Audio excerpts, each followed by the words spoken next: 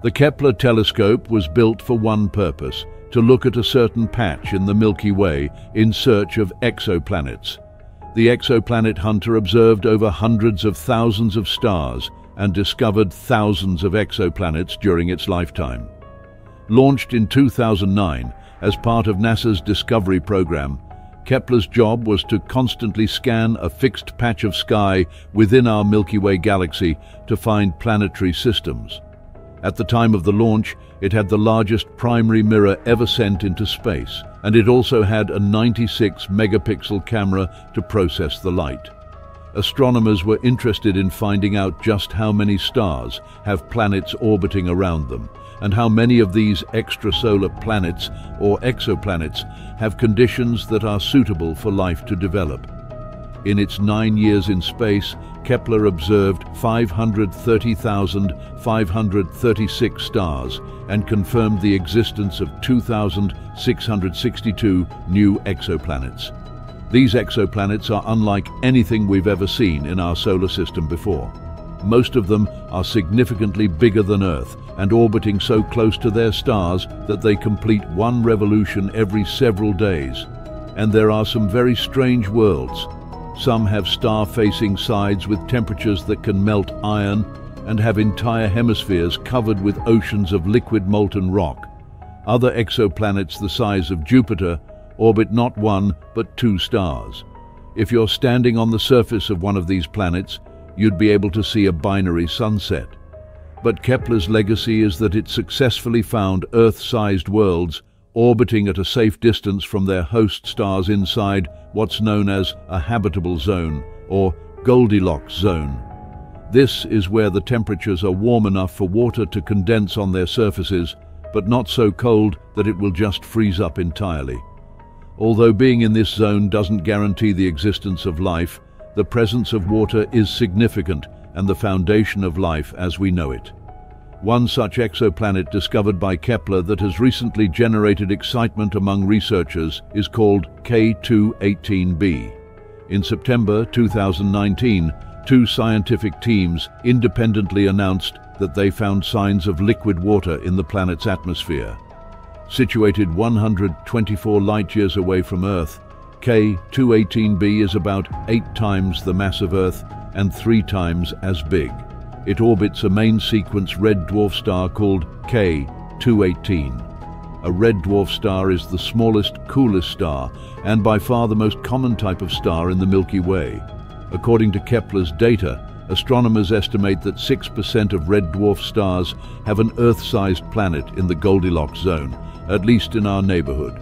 To find water on the surface of one such planet is a landmark discovery in the search for potentially habitable alien worlds. K2-18b is also the first planet with water out of all of the exoplanets discovered by Kepler in the habitable zone of stars.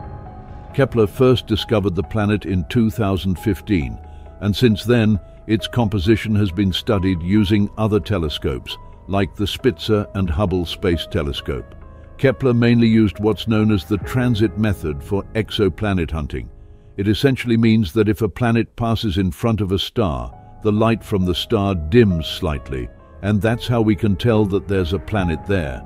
The level of dimming and how long it lasts gives us important information about the size and orbit of the planet. However, detecting the transit of an extrasolar planet is very challenging. For example, the diameter of Earth is only 1,109th of that of the Sun, so for an outside observer of the solar system, the passage of Earth would dim the output of the Sun by only 0.008%. Kepler's cameras had to be sensitive enough to detect this minute change in the luminosity. Using the same method way back in 2014, Kepler first found a potentially habitable exoplanet. Kepler 186f ignited the imaginations of space nerds everywhere when NASA announced its discovery. Now, a new study indicates the exoplanet, 500 light-years away, may also have seasons and a climate similar to our own. New research out of Georgia Tech University has analyzed the planet's spin and axial tilt, and found that its tilt is stable like Earth's, which makes it likely that Kepler 186f also has regular seasons and a stable climate. Similar research on the massive Kepler database is going on in research universities all across the world. In fact, in recent years, previous Kepler findings that were rejected as potential Earth-size exoplanets due to algorithmic error are getting rediscovered. These false positives are now slowly being reanalyzed in conjunction with data from other telescopes. One such planet is Kepler 1649c. In mid-2020, while combing through old Kepler data and matching it against new data from the Transiting Exoplanet Survey Satellite, or TESS, astronomers confirmed the existence of another exoplanet with very favorable conditions for life. Kepler 1649c located 300 light-years from Earth, is very similar to Earth in size and estimated temperature.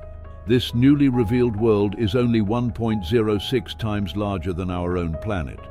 Also, the amount of starlight it receives from its host star, which is also a red dwarf, is 75% of the amount of light Earth receives from our Sun, meaning the exoplanet's temperature may be similar to our planet's as well. Kepler 1649c provides yet another example of an Earth-sized planet in the habitable zone of a red dwarf star. But before we get ahead of ourselves, it's important to note that out of the 2,662 exoplanets identified by Kepler, only 16 of them lie inside the Goldilocks zone. And out of these 16, some of these planets are tidally locked with their parent stars, meaning that only one hemisphere of the planet faces the star. And this is not ideal for life. Others are more like a smaller version of Neptune than a larger version of Earth, and planets similar to Neptune are expected to have a significant envelope of hydrogen surrounding any layer of water on the surface with a planetary core of rock and iron. If the hydrogen envelope is too thick, the temperature and pressure of the water layer beneath would be far too great to support life. On top of all of this, despite being cooler, red dwarf stars tend to be more active than sun-like stars. Thus, the planets may be exposed to higher quantities of damaging ultraviolet radiation than what we're used to here on Earth. Because of this, surface temperatures can range between minus 100 and 116 degrees Fahrenheit or minus 73 to 47 degrees Celsius. That means the surface could, on average, be colder than Antarctica or hotter than Earth's most blistering deserts. Unfortunately, we just don't have the technological know-how to study the composition and atmospheres of these alien worlds and comprehensively answer all these questions yet. But don't despair. Based on the statistical analysis of all the Kepler observations, astronomers now estimate that one in five stars, like the Sun, have planets about the size of Earth and a surface temperature conducive to life. Given that about 20% of stars are Sun-like in our galaxy, that amounts to several billions of potential habitable Earth-like planets just in our Milky Way alone. Kepler not only focused its efforts in finding potentially habitable planets, in fact, the bulk of its discoveries were strange worlds not suitable for life, but fascinating nonetheless. Like the gas giants, planets composed mostly of gases such as hydrogen and helium, with a relatively small rocky core, also known as hot Jupiters. These planets orbit extremely close to their parent stars and are abundant in Kepler's data. One such fascinating example of a gas giant is KOI 5AB, astronomers first flagged KOI 5AB as a potential planet way back in 2009. At the time, this elusive alien world was only the second planet ever found by Kepler.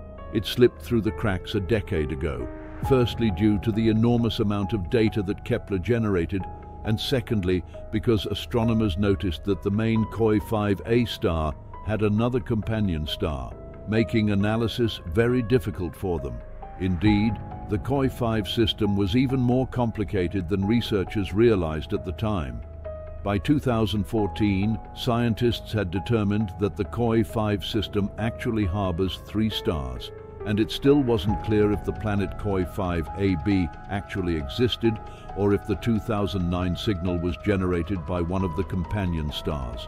But thanks to additional data from the TESS satellite, scientists were able to confirm the existence of KOI 5AB. Planetary bodies on stable orbits in a multi-star system is quite a rare find, and the discovery of KOI 5AB is expected to add a lot to our understanding of planetary formation. Other exoplanet types identified by Kepler include super-Earths.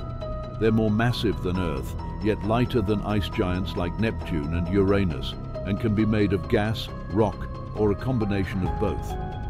Lava planets are super-dense, larger than Earth worlds in close, hot orbits around their parent stars. Some of them, known as Chthonian planets, are likely the remnant cores of evaporated hot Jupiters. And finally, Trojan planets, planets of various size found in strange locations, and sometimes even as companions to larger planets, though none have been certainly identified yet. Kepler was finally retired on the 30th of October 2018 as it ran out of fuel. The telescope was deactivated with a goodnight command sent from Mission Control the next month. Coincidentally, Kepler's retirement fell on the 338th anniversary of Johann Kepler's death, after whom it's named. Although not operational anymore, these incredible discoveries predict a near future in which astronomers will use new and advanced telescopes on the ground and in space to more deeply understand Kepler's numerous finds. One such telescope is already slated to go up into space in 2021. The James Webb Telescope will take a much closer look at some of these Kepler objects of interest and hopefully will bring us closer to answering the question, are we alone in the universe? What do you think? Will astronomers find many more strange worlds buried inside Kepler's data? Let us know in the comments section below.